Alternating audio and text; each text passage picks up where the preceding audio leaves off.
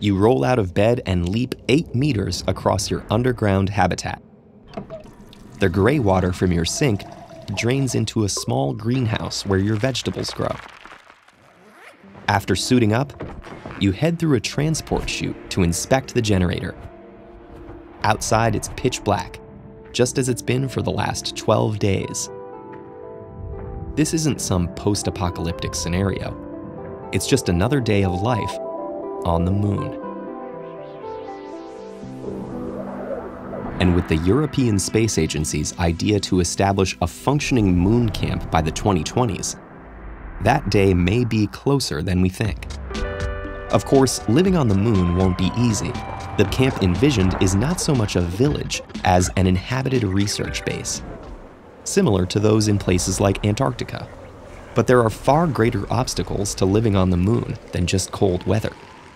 The biggest is cosmic radiation. Unlike the Earth, the moon has no atmosphere and no magnetic field.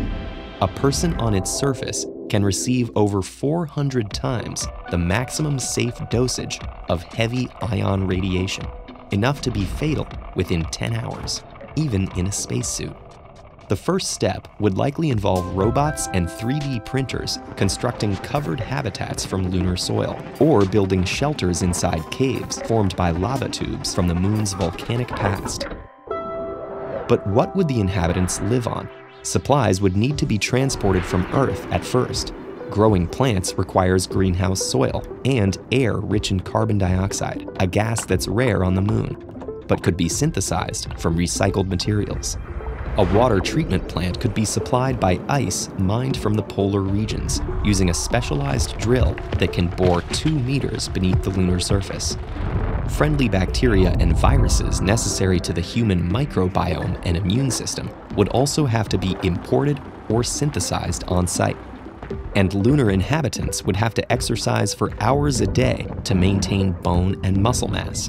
That's because the moon's gravity is just one sixth that of the Earth, and the everyday strain of working against gravity is part of what keeps our bodies healthy. It might seem strange to go to all this trouble to build a base on a dead rock we've already visited, but NASA's Apollo missions only explored small portions of the moon. We've made many discoveries since then, such as ice near the poles and particles of solar wind gases that date back billions of years. They collectively show that the moon has much more to teach us about the history of our solar system. A radio telescope on its far side could observe the cosmos, shielded from the Earth's electromagnetic interference. And the lunar surface is rich in minerals like silicon, aluminum, and magnesium, creating great economic potential for mining. But the biggest benefit of the moon camp may not lie on the moon, but beyond it.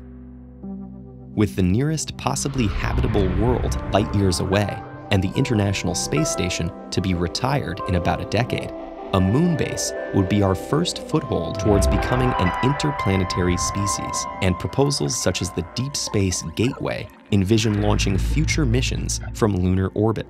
The smaller gravitational pull would require less fuel to overcome, allowing for larger ships and more cargo. Meanwhile, the base on the surface could serve as a testing ground for future space operations, a refueling station, and a supply depot all in one. With Europe, Russia, China, and the US expressing interest in the project, the moon camp may come to involve the space agencies of all major nations, as well as private companies. Within a few decades, the moon may be bustling with mining operations, research stations, and tourist routes, alongside a construction yard under an orbiting spaceport. We may have already visited the moon, but now we're closer than ever to making it part of humanity's home. Keep trekking through the vast reaches of outer space with this playlist.